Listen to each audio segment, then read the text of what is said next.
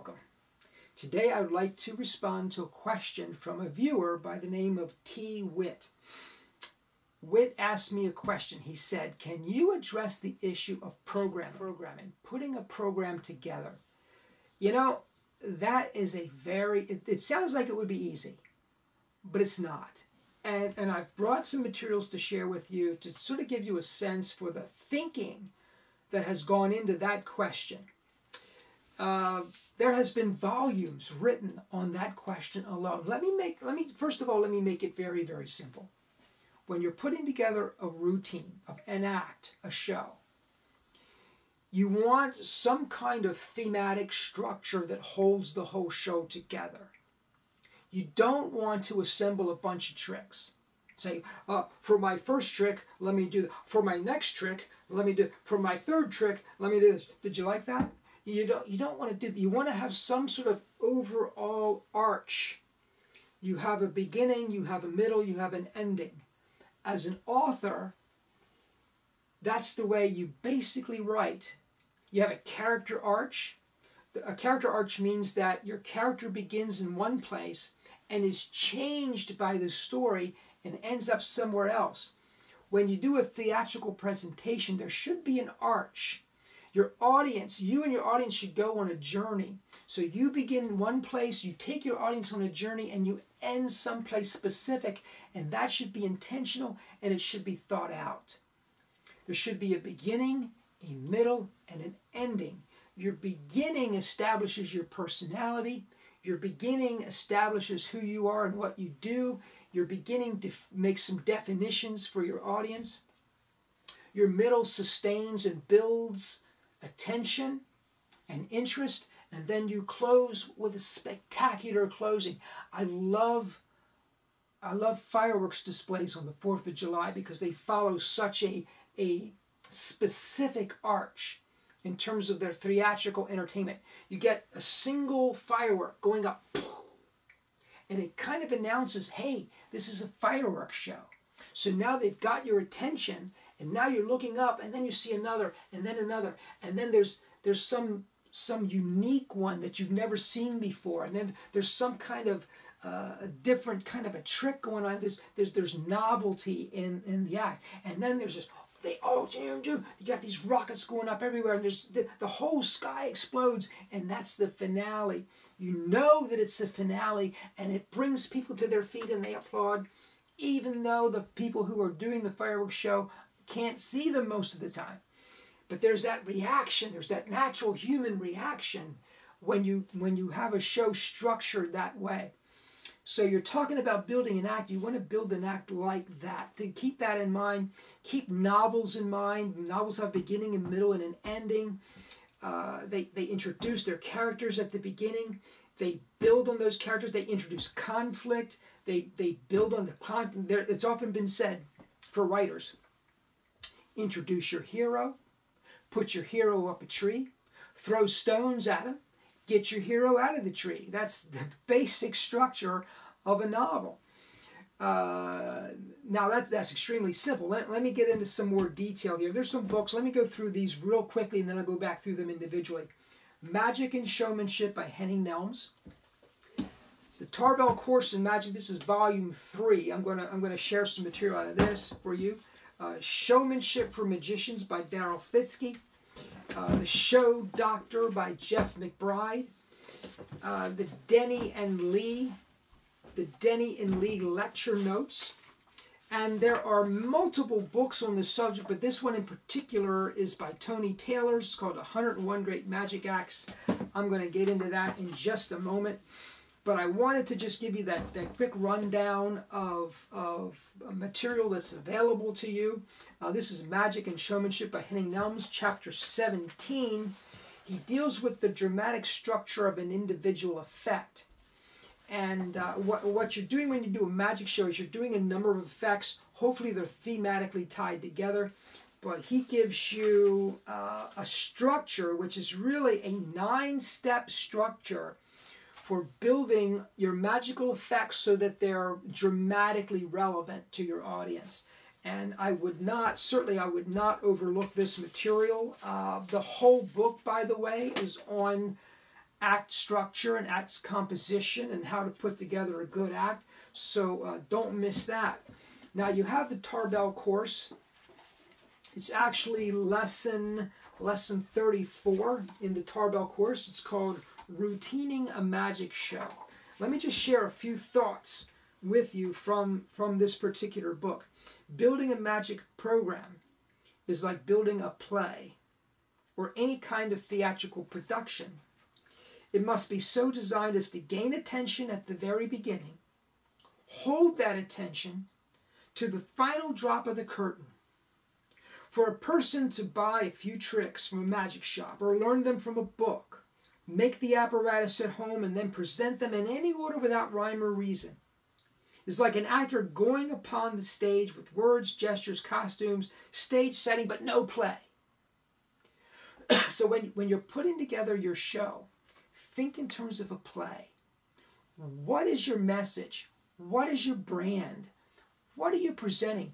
Here's the thing about magic magic is an art form, magic is a performance art. As an art and as an artist, you're trying to communicate to your audience. What are you trying to communicate? Who are you? You're, you're present magic is a a means, a, a, a an avenue, a vehicle for communicating with other people. It brings us together for a moment. This is this is what the performance arts do. For a moment, they, they introduce beauty into our lives. They introduce wonder. They introduce something magical. They, they take our lives away from the mundane, away from the day to day sorrows and pains and suffering, and they give us something to hope for, something to believe in. It's a noble cause. It's a noble thing that you're doing, and and uh, think about that as you're structuring your show.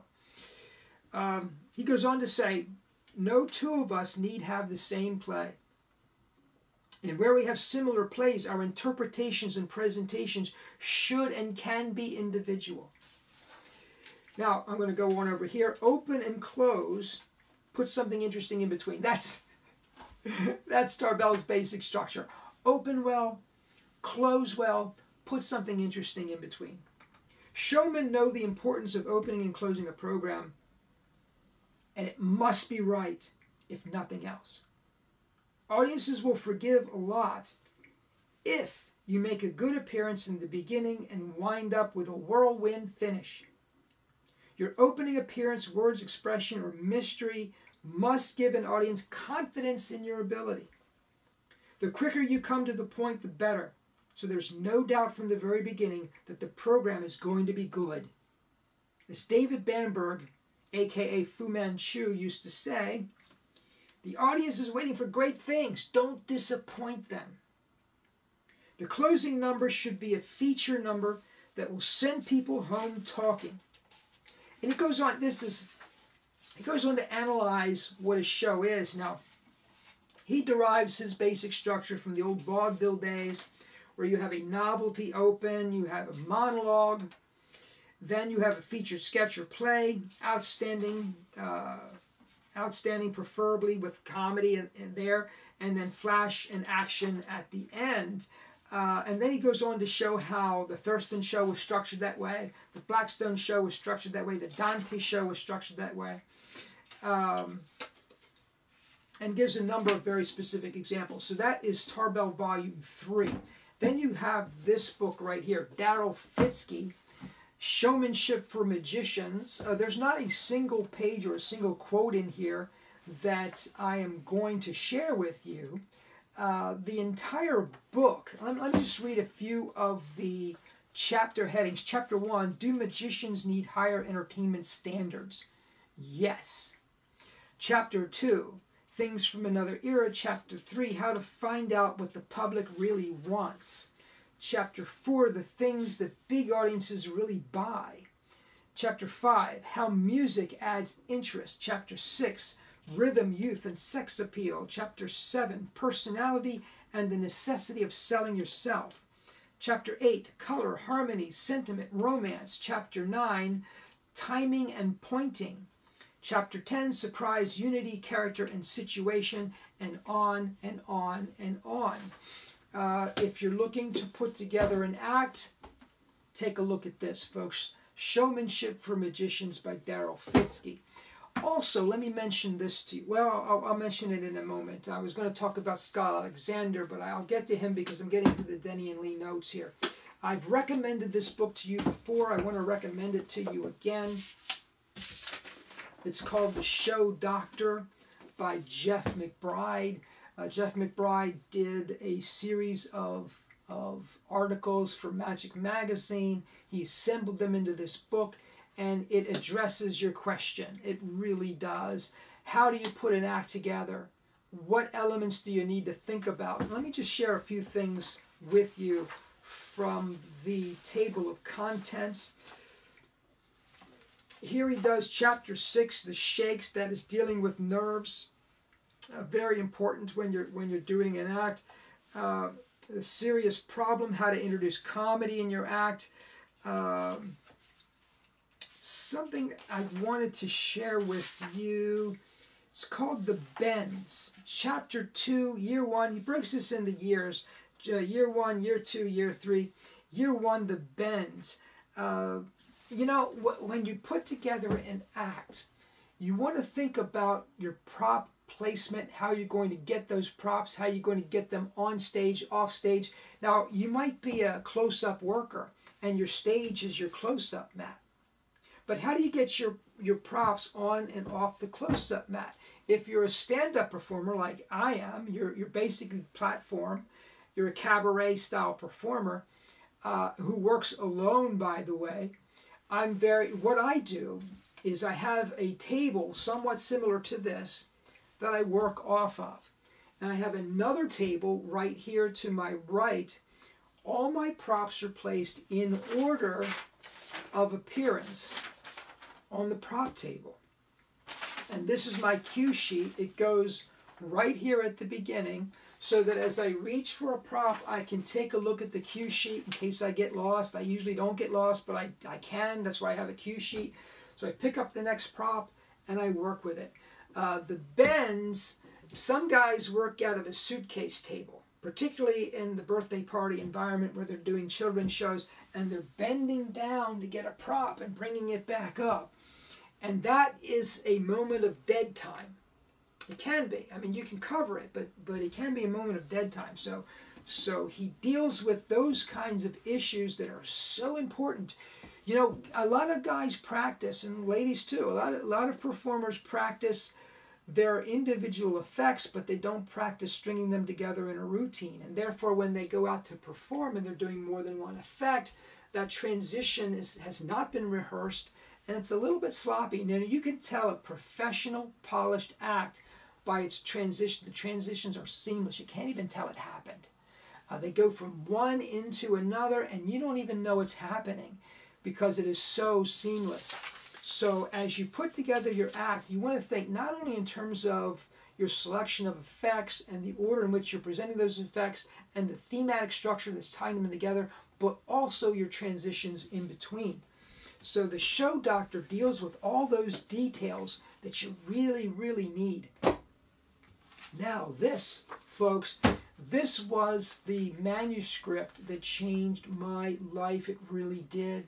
It was produced by Denny Haney. Of course, I've told you about him before. Denny Haney is a personal friend of mine. He's my mentor and friend. I spent years and years and years studying with this man. Uh, I, th- I thought he was a magical genius. He's certainly a performing art genius. Uh, and he produced this, this series of lecture notes uh, to help help beginning performers like myself understand the business of magic and how to put an act together. He um, he has a section here called "Who Am I?" I want to share this with you. Uh, it's, going, it's going to be hard for you to get these. Scott Alexander, by the way, took over the Denny and Lee Magic Emporium. It's now up in York, Pennsylvania. You might be able to get these lecture notes from Scott up there in York. Um, I think it's called DNL. DNL. Uh, but let me, let me share this with you. Who am I? More wasted time and frustration is spent on trying to be someone that you admire rather than being who you are. When we dream about performing, we rarely see ourselves on that stage or platform. We usually see what we'd like to be. That is the biggest waste of time in your entire life. While so many of us are busy wishing that we could be David Copperfield or Doug Henning or somebody else, just remember that you have one advantage that they don't. They cannot be you.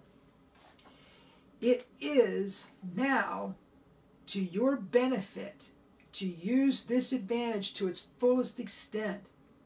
We break our necks trying to come up with some totally original act that has never been done before. The big boys out there are doing basically the same old magic that has stood the test of time. It's not the originality in their magic that makes them a success. It is the fact that people like them for who they are.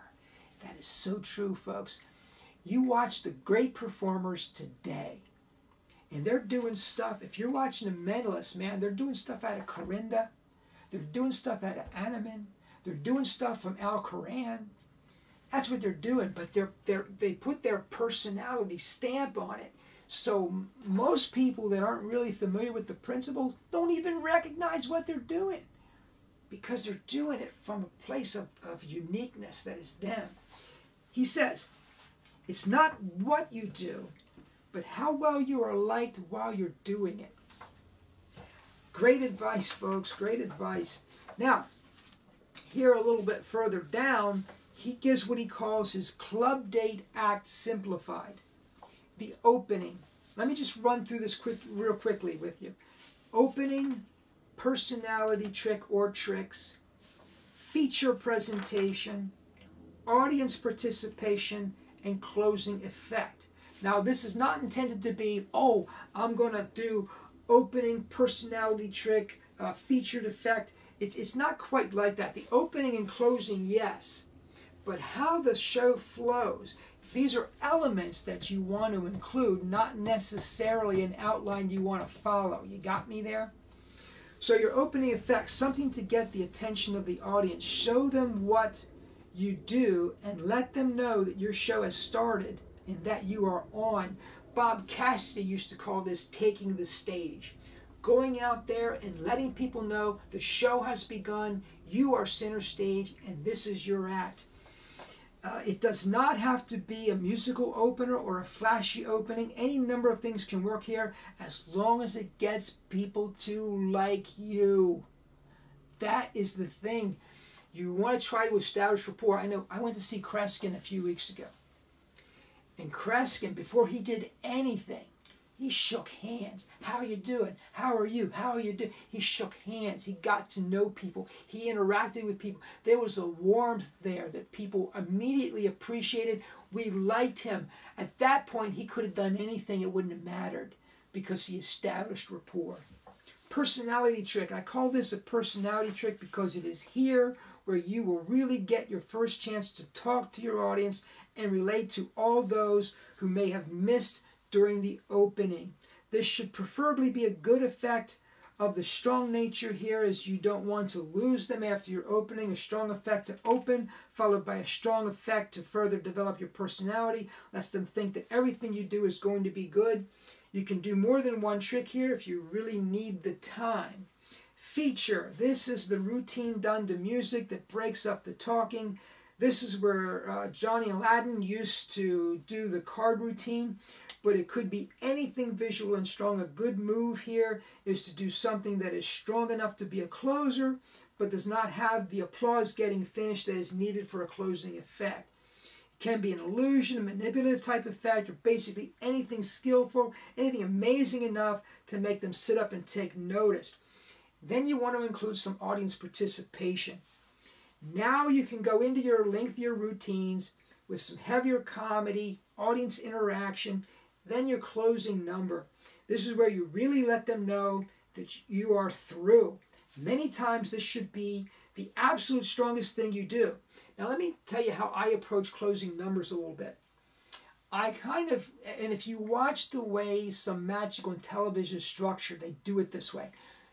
Coming up, folks, coming up, ladies and gentlemen, this, coming up, this, So, so you have this build throughout the show. Uh, my audience is anticipating that I'm going to finish with this effect. I'm going to get into that in a second. I'll show you how I do that.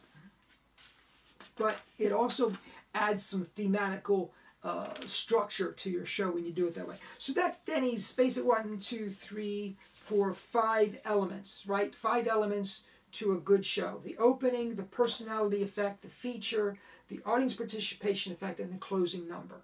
Uh, remember, remember the, er, the basic structure. Open strong, build interest, close strong. Basic structure. Uh, Denny and Lee lecture notes, uh, fantastic stuff. Now, books like this, uh, this is chock full of routines. So you, you read all the theory here, right? And then you get to go and you get to see what the masters did. Uh, if you have now, they don't give you a lot of detail in here. They, they sort of, there is some description, but uh, the value of these books is that it actually shows you the way shows were structured. And some of these guys were vaudeville, so they did the show over and over and over again. And, uh, and so you really get polished material in here to see that. Now, let me share some uh, some personal things with you to give you some some sense. Oh, oh before I, I leave the Denny and Lee uh, lecture notes, uh, Denny and Lee also mentor. He mentored many many people, but one of the folks he mentored was a gentleman by the name of Scott Alexander. Scott Alexander took over the Denny and Lee Magic Emporium after Denny uh, passed crossed over and uh, the, you might be able to get these lecture notes from him, but he has a five DVD set series called called Standing Up on Stage, and it is entirely devoted to putting your act together. I highly recommend it to you. Five DVDs, folks. I'm I'm presenting what is maybe 15 20 minutes on act act structure and act development uh, Scott Alexander devotes an entire five DVD set to it. And he also shares some of the effects that make up the act uh, in that DVD series. So I highly, I'm going to put the links below so you can access that if you, if you want to, and I recommend that you do. Uh, so, two acts that I want to go over with you. I um, I want to talk to you about my my Grand Illusion show, and also the act that I'm doing right now. Now this, this is my cue sheet for my Grand Illusion show.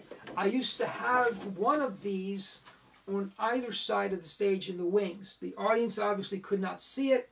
Uh, one of the advantages, one of the advantages of doing a Grand Illusion show is that you have people you're working with, and uh, and they can follow the outline. They bring props on and off. You just stand center stage and do your thing. Uh, you don't have to worry about prop placement. You don't have to worry about getting things on and off the stage. You just stand there and entertain. That's all you have to do. If you watch uh, any of the great masters, that's basically what they're doing. But most of us, and today I don't, most of us do not work with a partner. We do not work with someone that can carry props on and off the stage. So we have to do it a little differently, and I'm going to get into that in a minute. But this was my Grand Illusion show. I opened with the Dollhouse, and I did that for a number of reasons. It was to music. Uh, I opened with the Dollhouse because I wanted to introduce my assistant Jill in a magical way. I wanted the audience to perceive that I was magical and that Jill was magical as well. So I had this interaction with a doll. I put the doll into a dollhouse, magic took place, and this full life size human being came out of this dollhouse tremendous opening effect, uh, got good reaction from my audience. Then I did the Cups and Balls. The Cups and Balls is a classic of magic. I did it talking, I had a lot of patter. Uh, it, it, gave me an opportunity to interact with my audience. The Delben Chopper was next. The Delben Chopper was an audience participation effect. It was a little bit scary because it involved a blade coming down passing through both my arm and the, the, audience member's arm. Then I did the sword cabinet. This was two music. It was a grand illusion. Uh, Jill went into a cabinet. We pushed swords in. It was thrilling. Um, the Spaghetti Nightmare is my version of the Professor's Nightmare. Notice the classics here. This is it. The Cups and Balls, the, the Professor's Nightmare, the Cut and Restored Rope, Uh, this was a talking routine. This was an audience participation. The zigzag. Most of the time, I got an audience member up for the zigzag. I let them stand in the cabinet so they could see how tight the cabinet was. The neck twister was a comedy routine that people just loved. Jumbo Jest was a, a jumbo card routine. Dynamite was the spot card routine. Uh, the the Lota Bowl. Uh, the Lota Bowl, by the way, is a good running gag. I didn't mention that, but but in many acts, including the act that I do today, you should have some sort of a running gag that is something that you come back to over and over again that provides some thematic structure to your show. So it's not uncommon for the Lota Bowl to be used. You go out and you, you empty it, you put it down, you go on with your other effects, you come out, you empty it, you put it down. I didn't do it that way. I had a story uh, that I did with it that I really liked. Then the, the Chinese sticks, once again, classic. The linking rings, the multiplying bottles, and the metamorphosis or the subtrunk. That was my structure. This whole show took an hour to perform. Uh, that's another another thing. I don't know where you're going to be performing, um, but where where I perform, I work for an hour at least. Um, so so when I put my act together, I want to structure it such that I can do an hour and that it's entertaining throughout. Uh, there's no filler in my shows. If something's in there because it's a filler, I pull it out. Um, so every everything should be exciting. Everything should be exciting to you because if it's not exciting to you, it will not be exciting to your audience. But that was my uh, my illusion show when I did the show. We did this for didn't do this exact show, but we did a variation of it for ten years, and uh, I thought it was a good show. It's it's a good structure. Now, let me talk about the show that I do today. This was the cue sheet that I used in the illusion show. As I said, this was this was on the wings on either side so that I could see it. This is my cue sheet that I use today. Um, it is the font size on here. The font size. This is about a 14 or a 16 font size. This down here is a is a 11 or a 10. Um, the big notes. You notice here too. Let me show you this again red, blue, red, blue, red, blue. Uh, that way, when you glance at it, you can pick, your eye can pick up easily uh, what you need to see without struggling to find where you are on the page. The same over here. You have uh, highlighted, highlighted, highlighted. You notice this is every other effect is highlighted so that as I'm performing, now this, I have two tables. I have the front table that I perform off of, my side table where my props are. This sets on the side table. If I get lost, all I have to do is glance, and I can see exactly where, uh, where to pick up and where to go on. There are about 22, 23. Now, how you judge a routine, these all blend together rather well. But there's about 20 some odd routines in this show. This show runs a strong hour.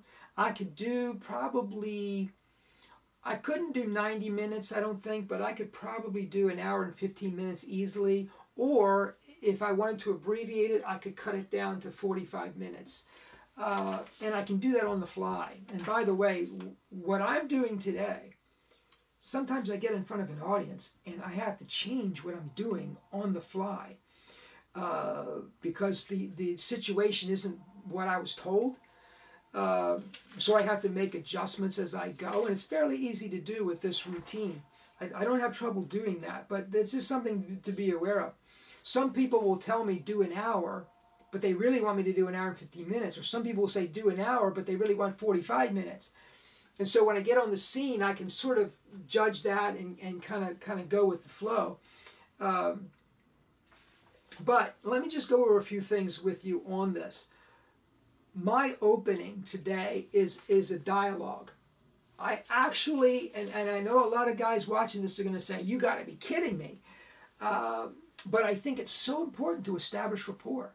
So I, I'm introducing myself. I'm taking the stage. I'm letting people know I'm there and how are you and how are you doing. And, and we're getting some interaction going before I ever do anything. And then my, my actual first effect is something I learned from Bob Cassidy. It's a psychological effect, the kind that Banachek does. And uh, this kind of effect, I'll tell you why, I'm not going to tell you much about it because it's still active, it's in my show. Um, but I like it because it gets every audience member. In, I'm asking, uh, what I'm saying to people is, I'm going to project an image into your mind. So now everybody in the audience is paying attention. Everybody is trying to get the image that I'm projecting. And when I reveal what the image is, more than half of them got it. So they're like, wow. So mind reading has happened right away. And I have them from the very beginning. And then I can go into some more elaborate routines. Um, my closing, my strongest effect is what I'm calling a staple gun roulette. It's basically a roulette routine. You see a lot of mentalists today are doing roulette routines. Scott Alexander has one. I think it's called Smashed, where he, he breaks up a bottle, puts the bottle uh, under under paper bags, and smashes his hand, uh, hopefully on on ones that do not have the broken bottle under it. Now, actually, I actually purchased that trick. I don't do it. I do another version. I do uh, the staple gun routine because I think it's it's extremely portable. Uh, whereas the the smash routine is less portable. It's less economical. There's a lot going that that kind of hurts it, uh, in my opinion. So so I do a different routine. Arguably, that's the strongest effect, but I don't close with it. It's the second to the last effect. Now, I'm getting into a nuance here, but some some performers will do their their fine their their closer, the one that's intended to say the show's over, and then they do sort of an encore after that. Well, I have a running gag, so to speak. It's not a gag, but it's a running effect that runs through my show. I introduce a combination lock and I tell the audience that I'm going to project, there's four numbers, I'm going to project the numbers into their minds. So at various times during the one hour show, I stop and say, I'm going to project a number to your mind, and I write it on a chalkboard, the number they give me. So, so as I go through the show, I have one number, two numbers, three numbers, and then after I do the staple gun routine, then I get the final number. We put those numbers in the combination lock, and it opens, and that's where I close. So there's a psychological dynamic to that. But I wanted to share that with you. Now, when I used to do kid shows, I didn't have a, a cue sheet this big. I was working out of a small suitcase table, and I had I had a cue sheet that was basically an index card uh, with the effects written on it and highlighted this way that, that went in the top corner of my of my table. Um, well, T Witt, I, I hope uh, this gave you some ideas as to what you need to do to put together your act.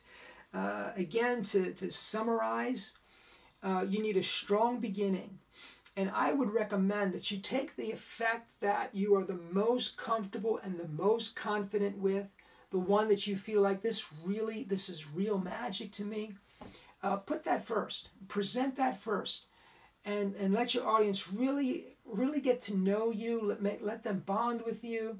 And then uh, as you build the rest of your, your show, think in terms of how am I going to uh, thematically tie this, this together so that it's not just one trick, two tricks, three tricks.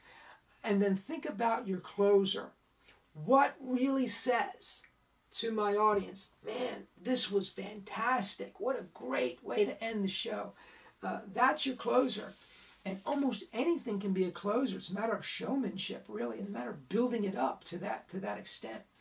But certainly some things lend themselves to it more than others.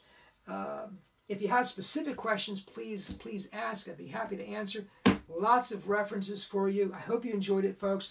Please comment down below. Comment, subscribe. Uh, I want to hear from you. And I will see you next time. Thanks so much for joining me.